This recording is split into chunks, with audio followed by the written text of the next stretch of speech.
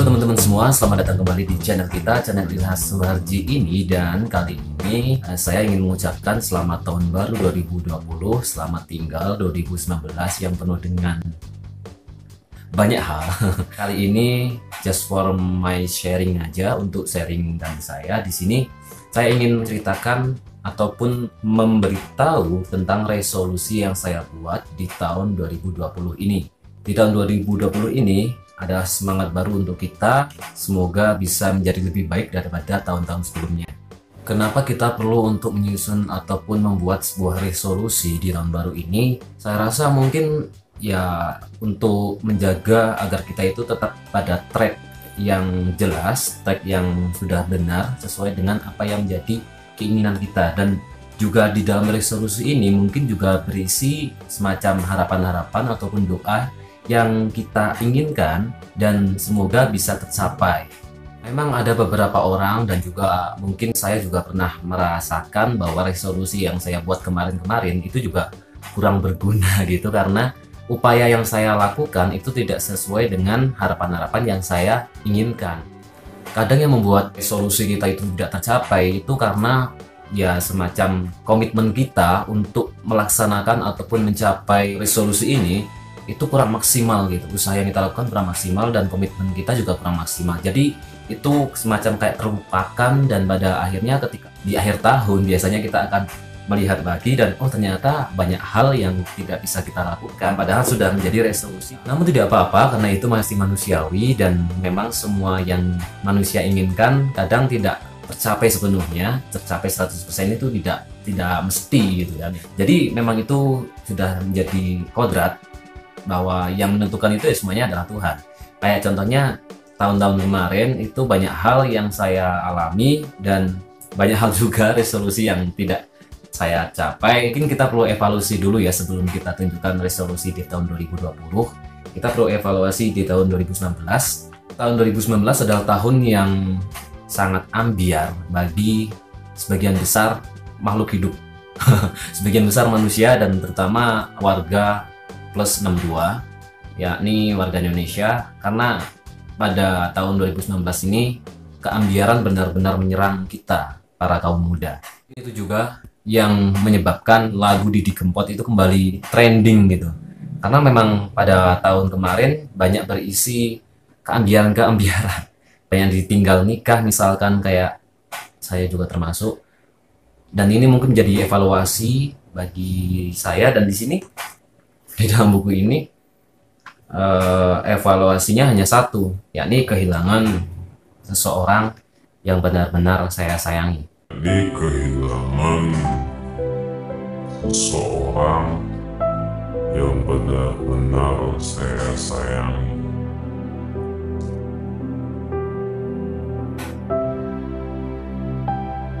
One hour later. Saya ingin bercerita terlebih dahulu. Uh, empat tahun kemarin itu saya menemukan seseorang yang itu spesial hingga kami menjalin hubungan dan kita bertahan sampai empat tahun. Dan di ujung ataupun di akhir-akhir menjelang akhir 2019 kita akhirnya berpisah karena suatu keadaan yang memang tidak bisa kita teruskan kembali hubungan kita. Karena dia ya intinya saya tidak bisa melanjutkan dengan dia. Yang menjadi evaluasi adalah ketika kita membuat resolusi, sebenarnya itu kalau bisa resolusi itu harus sesuai dengan apa yang kita inginkan. Hanya kita, ya, hanya pribadi kita, bukan bersama dengan orang lain yang mungkin ada hubungannya dengan orang lain, tetapi sebisa mungkin itu bisa kita kontrol dan kita ya keputusan semuanya ada di diri kita apakah itu nantinya akan terlaksana atau tidak itu semuanya tergantung kita sendiri gitu loh jadi kalau misalkan resolusi nikah misalkan, hmm, itu kan kehendaknya Tuhan ya. Kita nggak bisa memaksa Tuhan, terserah kalian resolusinya. Yang penting resolusi itu menjadi semacam penyemangat buat kita ketika kita melihatnya kembali kita akan oh ini ini target saya di tahun ini maka saya harus melaksanakannya saya harus mencapainya gitu 2019 adalah tahun di mana saya kehilangan seseorang yang sangat saya sayangi dan itu menjadi semacam trauma tersendiri bagi saya sehingga saya tidak ingin menjalani 2019 lagi. Ya iya sih. Itu jelas nggak bisa teralami oleh saya lagi ya. Karena sudah menjadi sudah jadi tahun 2020 Nah, penting hal-hal yang kemarin telah kita lakukan kita nggak bisa melakukan baik lagi. Hanya menjadi pelajaran saja buat kita agar bisa berbuat lebih baik lagi daripada sebelumnya. Dan lanjut ke resolusi di tahun 2020 ini di sini saya menuliskan karena ini tahun 2020 saya mencoba untuk mengaitkannya dan saya di sini ada 20 resolusi atau 20 target goal yang ingin saya capai di tahun 2020 ini. Pertama, yang pertama itu saya ingin Pertama, menerbitkan buku minimal satu buku yang nantinya bisa diterbitkan dan mendapatkan ISBN. Saya sebenarnya sudah punya naskah, punya naskah yang siap untuk diterbitkan, baik itu cerpen maupun semacam kumpulan isai gitu, tetapi memang beberapa tahun ini belum saya kirimkan. Mungkin kalau misalnya kita kirim, saya kirimkan ke penerbit dan itu kok belum diterima, maka ya saya akan mencetaknya sendiri dengan penerbit indie gitu. Itu yang pertama. Lalu yang kedua ini tentang Instagram, yakni follower Instagram mencapai 3.333. Nah, kenapa kenapa ini mencapai segini ya karena nantinya bisa berkaitan erat dengan channel YouTube yang saya punyai. Pertama channel ini ya karena ini khusus untuk aktualisasi diri lah di sini. Kemudian yang ketiga adalah punya tiga channel YouTube yang monetize. Nah, ini karena saya mengelola tiga channel yang saya seriusi dan semoga bisa monetize semua di tahun 2020. Keempat, subscriber Sastra Sabah mencapai 5.555. Nah, Sastra Sabah ini salah satu channel yang saya kelola. Di situ berkaitan dengan kondisi wilayah kondisi ataupun apa pun yang berkaitan dengan Wonosobo. Yang kelima adalah subscriber ngaji milenial Nahdlatul Ulama mencapai 33.333. Nah, kenapa angkanya begini? Karena biar mudah diingat gitu. Nah, ngaji milenial Nahdlatul Ulama ini juga salah satu channel yang sudah saya kelola dan kemarin sempat absen, tetapi sekarang lagi dismonetis. Semoga besok bisa monetis lagi ya. Yang keenam adalah subscriber YCW atau YouTube Creator Wonosobo atau Ilhas Warji ini itu bisa mencapai 3.333 sama dengan follower Instagram. Nah, surat YouTube monetis itu kan 1000 dan ini sudah mencapai lebih dari 1000 gitu kalau 3333 sedangkan sekarang masih masih berapa ya sekitar 400 lah menjelang 500 di channel ini nah makanya teman-teman silahkan subscribe dukung channel ini agar lebih bisa berkembang lagi ya terima kasih yang sudah subscribe dan yang belum subscribe silahkan subscribe nah kita lebih menjadi pertemanan yang lebih keren gitu Nah, video ICW atau YouTube Creator Wonosobo ini mencapai 3000 eh, 333 video. 333 video. Jadi sekarang sudah ada sekitar 36 video dan masih kurang ya 300-an lah 290 berapa gitu hampir 300 berarti itu artinya selama satu tahun ini saya harus lebih produktif lagi. Dan ini untuk menjaga produktivitas saya sih. Yang ke-8 membuat konten membahas 0505 2020 nah 5 Mei 2020 ini suatu tanggal yang istimewa dan saya harus membahasnya. Entah nanti isinya tentang apa yang penting saya harus membahasnya yang kesembilan adalah membuat konten membahas 0202 2020. Ini juga sama 2 Februari saya juga harus membahas tanggal tersebut karena itu tanggal spesial dan entah nantinya ada yang spesial apa di dalam kehidupan saya saat akan membahasnya. Yang ke-10 tabungan mencapai 50 juta. Nah, karena ini satu upaya agar saya bisa bekerja lebih maksimal, bisa mencapai keadaan finansial tabungan itu mencapai 50 juta. Ini biar ya persiapan untuk menikah itu bisa. Ya padahal sekarang sih belum punya calon. Maka dari itu teman-teman siapa yang menjadi calon saya? Boleh kok. Kemudian yang ke-11 adalah punya dua HP untuk YouTube production production ini. Karena saya lebih lebih suka di konten-konten YouTube ini menggunakan HP dan situ HP salah satu minimal salah satu di antara dua HP itu yang mempunyai RAM 4 GB agar lebih enak untuk editannya gitu. Kemudian yang ke-12 adalah melunasi semua hutang.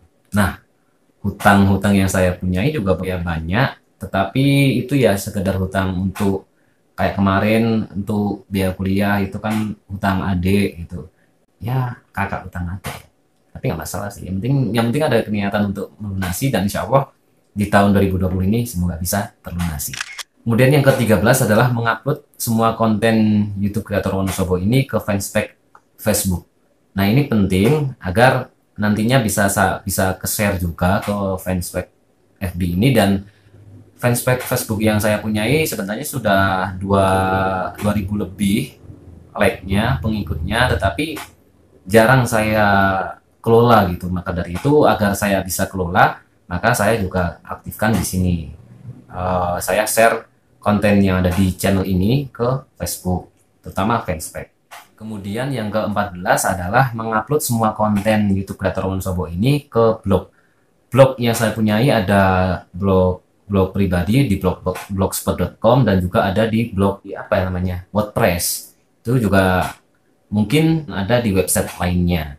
Kemudian yang ke-15 adalah mengganti laptop dengan yang baru. Nah ganti laptop dengan yang baru ini karena saya punya laptop yang masih spesifikasinya masih kurang dan masih sering error maka dari itu saya ingin mengganti dengan laptop yang mempunyai spesifikasi ah, mempunyai spesifikasi yang lebih tinggi.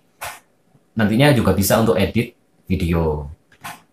Yang ke-16 adalah punya motor baru. Ya walaupun sekarang sudah ada motor tapi saya ingin yang lebih praktis lagi mungkin Matic atau apa ya. Semoga bisa lah ya. Amin. Kemudian yang ke-17 merenovasi rumah merenovasi rumah entah itu jendela, kaca, pintu, eh, terutama sih khususnya adalah kamar mandi karena kamar mandi yang ada di rumah itu masih kurang banget. Dan kemudian yang ke-18 adalah mulai aktif nulis di web Wonosobo Kreatif. Nah, kemarin saya baru aja dikasih eh, link dan juga menjadi sem- pengelola admin terutama admin untuk konten di web Wonosobo Kreatif ini dan semoga saya bisa menuliskannya. Di sini ada target 100 tulisan 100 tulisan dalam satu tahun ini. Ya berarti itu juga saya harus lebih produktif lagi untuk menulis. Tapi itu sangat mungkin karena sangat berkaitan dengan konten yang ada di sini. Misalkan konten yang ada di sini kan saya sering vlog nih konteks kegiatannya dari Wonosobo nah mungkin itu juga bisa saya sharingkan di website ini.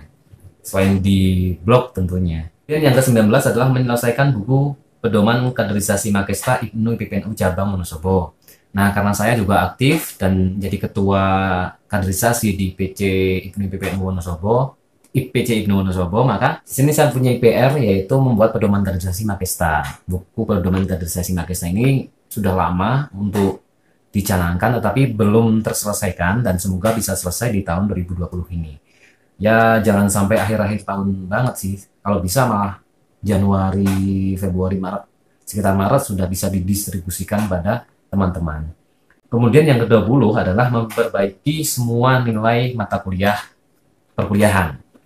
Nah, karena saya juga masih kuliah di ilmu politik Unsik, saya beberapa semester ini tertinggal materi kuliahnya dan tentu saja itu sangat nantinya sangat berimbas karena saya sudah beberapa tahun saja di Unsik Nah, maka dari itu saya ingin segera menyelesaikannya, segera wisuda. Ya, saya harus memperbaiki nilai ini dan mengikuti perkuliahan dengan benar. Mungkin itu teman-teman 20 resolusi di tahun 2020 ini dan semoga bisa dengan dukungan dari teman-teman juga nantinya kalau misalkan ini salah satunya tercapai saya akan memberitahu kepada kalian dan saya akan membuatkan konten sebenarnya sih kalau misalkan saya lihat di YouTube beberapa referensi tentang resolusi, bicara membuat resolusi, itu harus SMART atau S M A R T.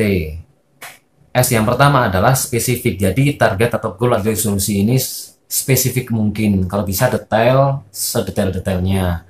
Yang penting kalau misalkan tidak ditulis, tidak ditulisan pun kita bisa membayangkannya dan kita bisa menargetkannya itu secara detail itu spesifik. Kemudian M-nya itu adalah measurable, yang artinya harus ada ukurannya, ada indikator capaian yang bisa menjadi tolak ukur dari pencapaian kita. Kayak misalkan nih, di ini mulai aktif nulis di web Wonosobo Kreatif, minimal 100 tulisannya. Nah ini harus terukur, benar-benar terukur gitu. Lagi kalau misalkan itu kayak semacam dibuat per bulan gitu. Misalkan di tiga bulan pertama itu saya sudah, kalau ini selama satu tahun berarti kan 12 bulan itu berarti kalau misalkan 100 tulisan dibagi menjadi 4 misalkan tribulanan. Sama tiga bulan sekali itu saya berarti harus mencapai 25 tulisan. Nah seperti itu itu measurable. Kemudian yang A itu adalah achievable. Yakni itu sangat mungkin untuk bisa kita dapatkan kita raih gitu. Kayak ini semuanya ada di sini sangat mungkin untuk saya raih karena saya mempunyai hal-hal yang bisa untuk mencapai ini. Dan juga untuk upaya yang saya lakukan memang harus lebih gitu ya. Karena ini berapa ada yang lebih keren berkaitan dengan finansial gitu. Lalu R-nya itu adalah relevan. Jadi relevan nggak sih apa yang saya buat ini?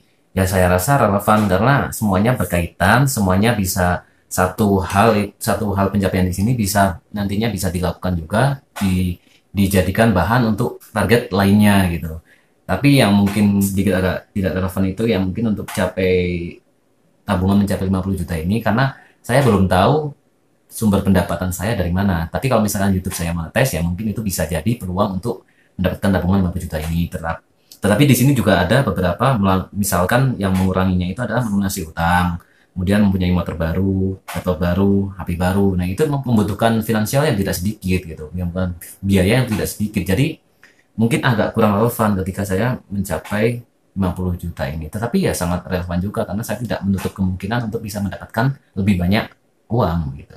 Apalagi kalau channelnya tiga channel sekaligus ini disetujui semua. Dan T-nya adalah uh, timeable. Uh, waktu dispesifikasikan lagi gitu misalkan ini kan ada 20 target kemudian dari selama satu tahun kayak tadi saya jelaskan selama satu tahun maka itu berarti 12 bulan kalau misalkan 12 bulan berarti bisa dibagi misalkan untuk evaluasi itu tiga bulanan sekali. Jadi selama tiga bulan itu nanti kita akan melihat apakah ada yang sudah tercapai atau ada yang kurang tercapai. Atau kalau kalau misalnya lebih baik lagi adalah misalkan menerbitkan buku minimal satu buku SBN ini di, di target yang pertama ini. Maka saya harus punya timeline targetnya adalah pada tanggal berapa atau pada bulan apa saya harus menerbitkan buku ini kemudian eh, hal-hal lain misalkan ya, HP atau beli HP baru. Ini juga saya bisa menargetkan seharusnya. Misalkan di Mei atau Juni 6 bulan kemudian 6 bulan yang akan datang gitu. Jadi mungkin seperti itu teman-teman yang bisa kita sharingkan. Intinya adalah resolusi ini ini untuk menjaga agar kita lebih komitmen dan kenapa kita tayangkan ataupun sharekan di YouTube? Karena nantinya saya ingin agar saya itu tidak omdo gitu, tidak omong doang karena saya nanti akan malu kan ketika banyak resolusi yang saya buat ini dan kita sudah saya tayangkan di sini tetapi banyak hal yang tidak tercapai. Itu saya juga harusnya malu gitu. Mungkin itu saja teman-teman. Terima kasih atas perhatian kalian. Jangan lupa subscribe, like dan komen ya untuk nantinya kalian tidak tertinggal video-video baru karena kita rencananya akan upload bahkan sehari sekali itu kita upload. Jangan lupa juga untuk kasihkan semacam kayak masukan, kritik, saran, ataupun tantangan untuk saya dari kalian. Silahkan kirimkan di komentar. Tuliskan di komentar, saya akan balas, insya Allah saya akan balas. Dan terima kasih lah, pokoknya itu. Kalau misalkan kalian ingin kita ingin menjalin hubungan di Facebook ataupun di Instagram juga ada kok at Ilhaswarji di Instagram dan Facebook uh, fanspage-nya adalah Ilhaswarji gitu aja. Pokoknya sama Ilhaswarji semua. Cari saja Ilhaswarji blognya juga sama Ilhaswarji ataupun di deskripsi video ada kok. Ada. Masa lalu tidak menjadi hal yang seharusnya kita takuti tetapi bisa menjadi pelajaran karena masa lalu juga tidak bisa kita ulangi lagi kita tidak bisa membenahi masa lalu dan yang bisa kita benahi adalah masa depan. Jadi kita baiknya adalah memulai masa depan ini, memulai masa depan kita, terutama karena ini adalah tahun baru, hal-hal baru, semangat baru harus kita lebih maksimalkan lagi upayanya, maksimalkan lagi doanya, maksimalkan lagi usahanya. Semoga bisa tercapai hal-hal yang kita inginkan di tahun ini dan di tahun-tahun mendatang. Terima kasih teman-teman. Bye-bye.